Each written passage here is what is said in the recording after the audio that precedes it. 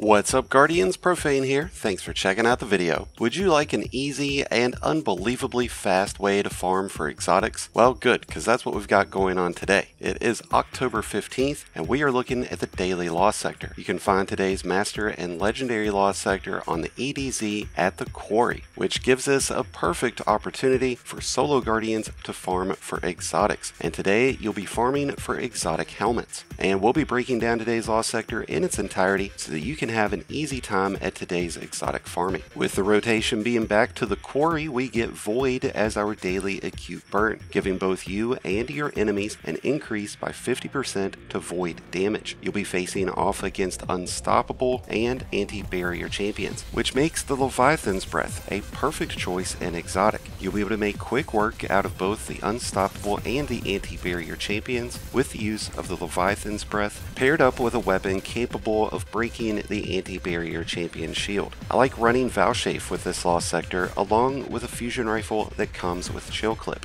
Otherwise, unstoppable shotguns would be ideal as well. And alternatively, the Bastion makes for another great exotic to choose to be able to get through today's lost sector quickly and easily. Even though most of this lost sector is pretty tight corridors, you can speed run through the first couple of sections. Once getting to the boss room, you're going to want to make sure you utilize the cover towards the backside of the room.